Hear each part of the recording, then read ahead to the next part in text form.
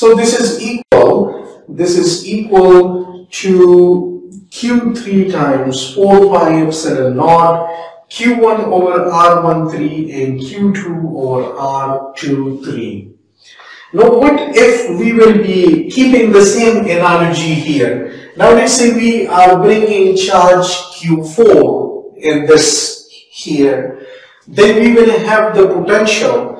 What will be R4 with this? It will be the R4 location and it will experience the field from R1, the field from R2, and the field from R3.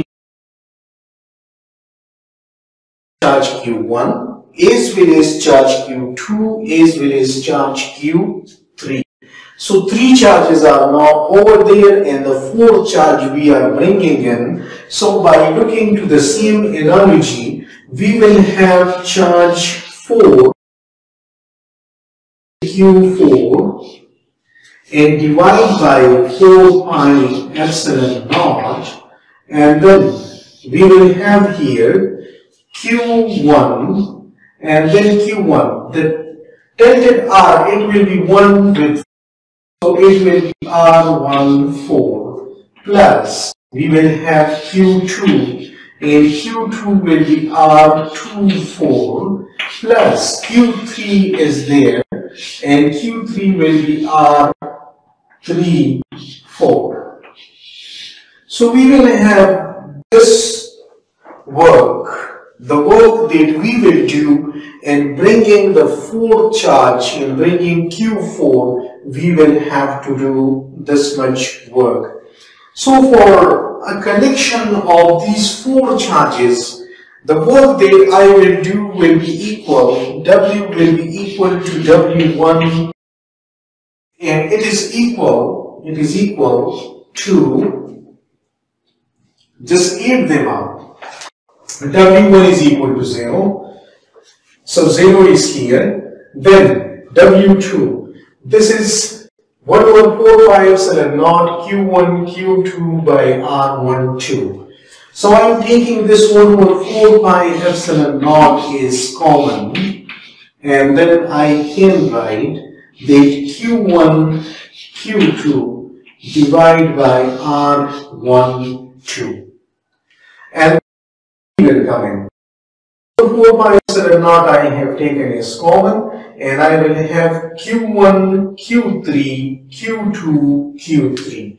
So this is plus Q1, Q3 by R13 plus Q3 by R23, this one. And then the W4 will be Q1, Q4. So this is Q1, Q4. Q1, Q4 by uh, R14, then Q2, Q4, Q2 Q4 by uh, R2 4 and then Q3 Q4 Q3 Q4 by R3 4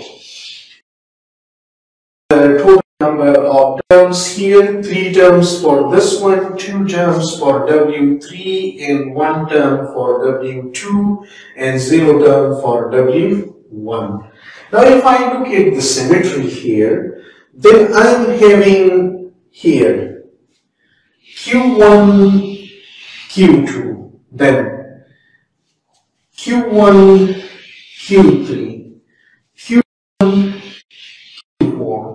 this is the interaction of Q1 with all the rest of charges. Q1 with 2, 3 and 4 charges. And here, when it comes Q2, then Q2 with Q3, then Q2 with Q4. So when Q2 was there, Q3 and Q4 were brought in. And finally, I am having the last one is Q3 and Q4. So this thing I can write in a summarized or in summation form is, uh, which is a compact. This is the work done which is equal to 1 over 4 pi epsilon naught 1 over 4 pi epsilon naught and summation on i and i runs from 1 up to 4 and over here means in the existing situation this will be running from 1 to 4 and then summation on j. J is also running from 1 up to 4 but there is one thing. We are not having R1 1 here.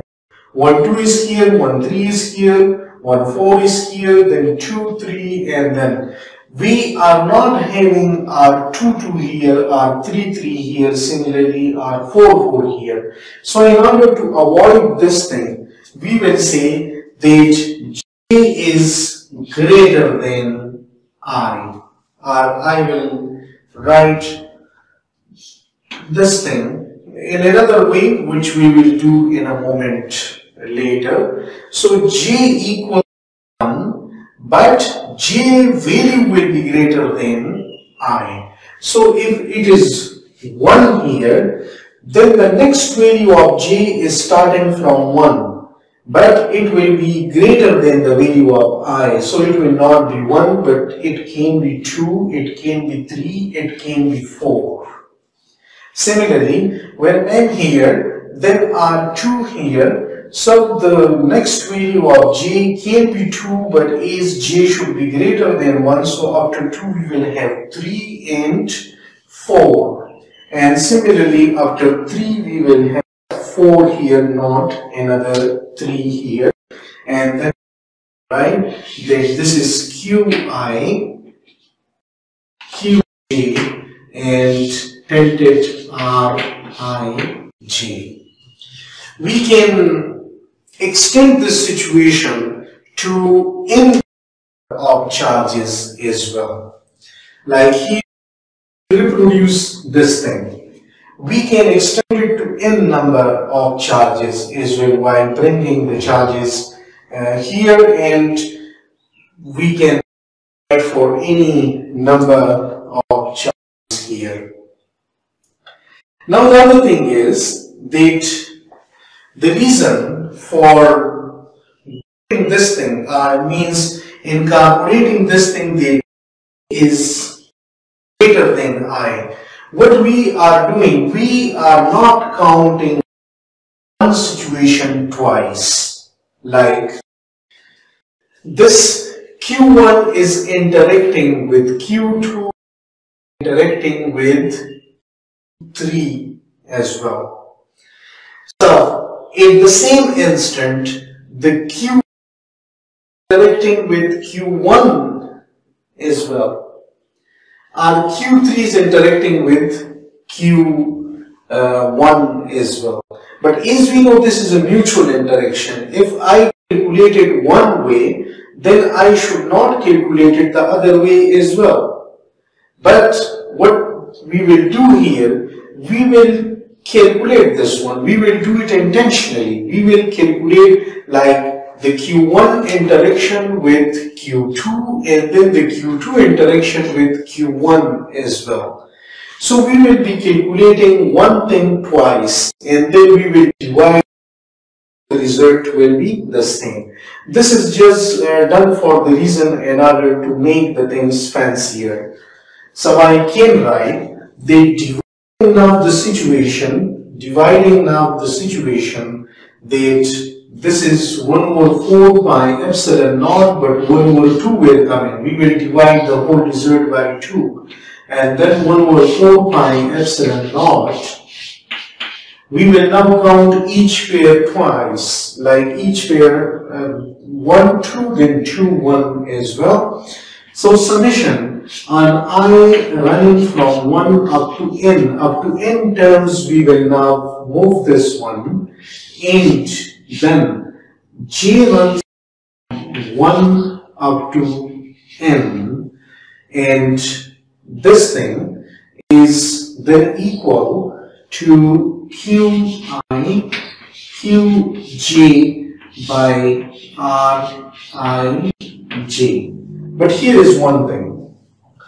The one thing is that it will count the charge itself as well. Like when I is 1 and G is 1, so we will be having Q1 with Q1 and then R1, 1. And this thing is not here. That means we will be counting its interaction with the same charge. So in order to avoid this thing, we will be writing that G is not equal to I. Like J and I will not be the same. So we will be just removing the chance of counting the self interaction. Like I here and J here means now uh, let me uh, clarify this thing the difference between this one and this one. Here, look here. Self-interaction, self-interaction we have removed by selecting this j not equal to i. Because this is this will cause the self-interaction like r1, 1, r, q1, q1. So we have removed the thing. Now what is the difference between this one and this one? For example, the two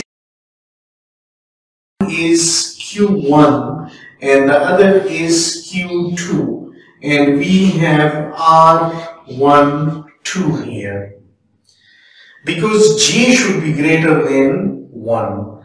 Now if I come here, then I is 1, G is equal to 1, but J is not equal to I. So there is a chance that I write Q1, Q2 and R1, 2. And there is a chance to Q1 and R21 because J is not equal to I. But now this is so this is double counting. Is I double counted these things so I divided by 2 and the result will be the same.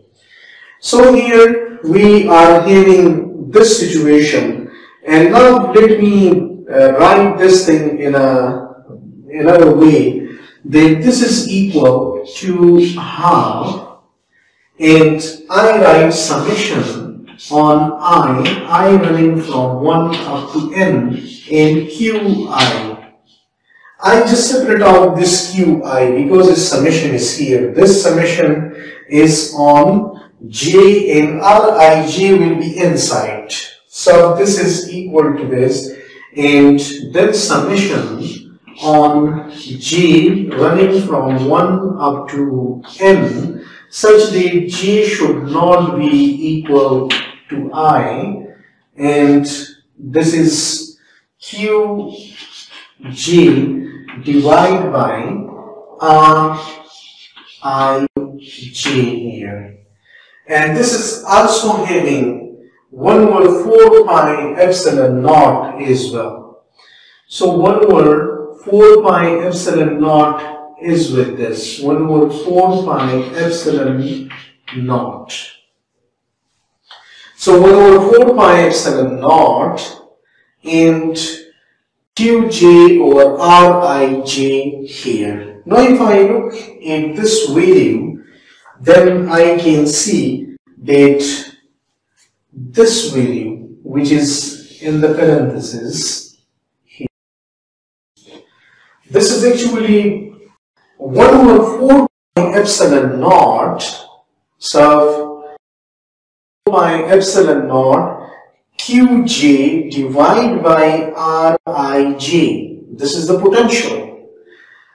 Because this is the charge which is having the field and then its interaction in which field means this is the source which is having the field in Rij I being the index with which it will come into interaction. So this is the basically the potential at Ri. So let me write here that this is basically the potential which is V at Ri. The location of this one is V at Ri. So I can write, I can write now that W, the total work is equal to half and then on Q summation on I coming from 1 up to n Q I in E R I. And again, we are here, W equal to, this will give you the total charge here, and then this is V and R I.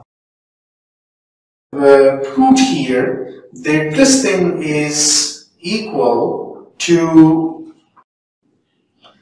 this gives us the total work in assembling, in assembling four charges are in charges here. So this is our final relation here. And now we will move towards the continuous charge distribution. So in the continuous charge distribution, we will be considering this Q in the form of if it will be on a line charge, so it will be lambda times length. If it will be the surface charge, then it will be sigma area or volume charge, then rho times the volume. So this Qi we will replace with that one, and then when we will be writing lambda dl, so the summation will be replaced by the integration for the same case sigma dA and rho d tau. So that we will cover in the next portion of this lecture which is section 2.4.3 the energy of a continuous charge distribution.